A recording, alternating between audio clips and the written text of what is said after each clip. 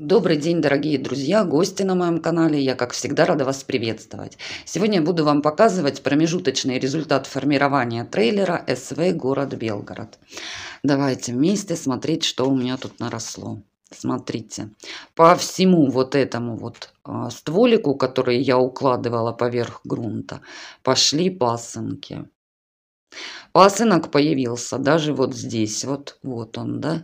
Я, в принципе, предполагала, а, что такое возможно, но я думала, что этот пасынок насколько будет а, в глуби, да, сидеть глубоко, что он а, будет плохо развиваться.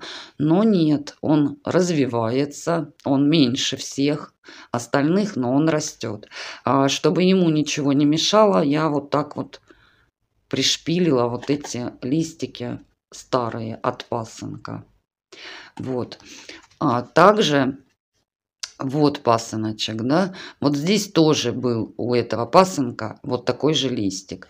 Я как только увидела, что на стволике появился зародыш пасынка, я а, начала, хотела вот так же пришпилить листик, и я его а, сломала, в общем-то, неаккуратно так полезла это все делать и сломала вот этот лист.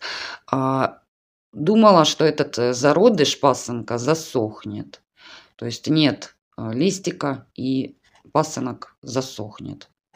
Но нет, он не засох, он потихонечку тоже развивается, растет.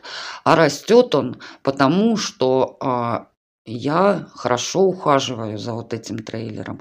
То есть у меня здесь грунт не переувлажняется и не пересыхает. Поэтому пасынок развивается. Так что, а, если у кого-то есть вот такие экземпляры, да, а, трейлеров, то можете с ними работать, а, поработать так, как я вам показывала. Вот, значит, дальше что? Хороший уход, хорошее освещение на вот этом вот этапе нужно, чтобы пасынки не тормознулись в росте, да, а умеренный полив, и, в принципе, пока все. Дальше, когда эти пасынки уже хорошо так подрастут, тогда их уже можно будет направлять а, туда, куда нужно. Ну, вот, допустим, вот этот предположительно пойдет в эту сторону, вот сюда. А вот этот вот сюда пойдет. А вот эти два, наверное, как-то в ту сторону и в эту. То есть вот будем направлять чтобы в результате, ну, в дальнейшем получился хороший кустик. Красивый, да, трейлера. Вот, так, а, кто-то мне там написал, что посмотрел на Валдберрисе, и вот этот вот э, мох кукушкин лен очень дорогой. Ну да, девочки, он не дешевый. Он дорогой, но оно того стоит. А как вы хотели выращивать фиалки? А, это вложение, и порой не очень дешевое вложение. Я покупаю, покупаю и, честно говоря, особо на цену не смотрю. А, слышала о том, что кто-то купил и попался, в общем-то, плохого качества, да, э, мох с плесенью. Ну, я вот два раза заказывала, у меня как бы мне везло, у меня никакой плесени нет. Я его э, храню вот в банке, да, вот. Я его не закрываю. А если он подсыхает, я его слегка немножечко увлажняю. Я не знаю, может быть, можно и чтобы он высыхал. Да, наверное, можно. Ну, я как-то раз немножко увлажнила, и он у меня как, как живой. Вот. Так что тут, наверное, как повезет. Мне, я же говорю, два раза заказывала и приходил хороший мох без всякой плесени.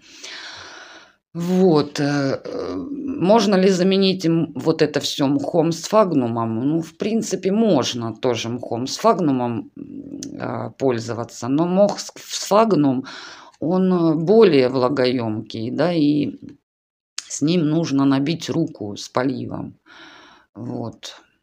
Поэтому, а, допустим, кукушкин лен чем хорош? Он просто более безопасен. безопасен.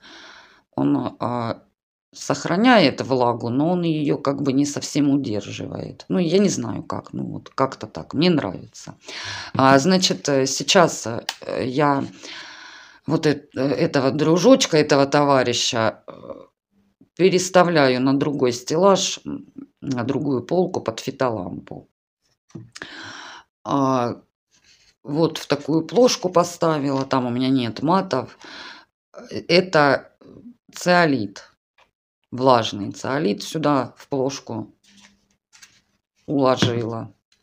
И сверху вот так вот будет стоять вот эта плошечка. А, циолит будет э, влажный постоянно. И а, вот эта влажность, ну, в общем-то, будет защищать от пересушек, опять же, да, от пересушек. Снизу циолит, сверху мох. Сейчас я снимаю видео о каждом сорте отдельно.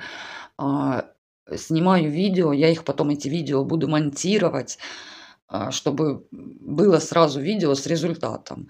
Поэтому обязательно напишите в комментариях, а, нужны ли вам вообще такие видео, потому что видео снять, ну, бывает сложновато, да. Не бывает, а мне вообще в основном сложно снять видео, пока я соберусь, пока я вот это сформулирую, что вам показать, что рассказать, как это показать и рассказать доступно и понятно. Кто-то, может быть, легко видео снимает, а мне полдня надо, чтобы снять какое-то информативное такое видео. Поэтому ваши комментарии для меня очень важны. А, так, на этом хочу пожелать вам всем всего доброго, мира, добра и благополучия. До свидания.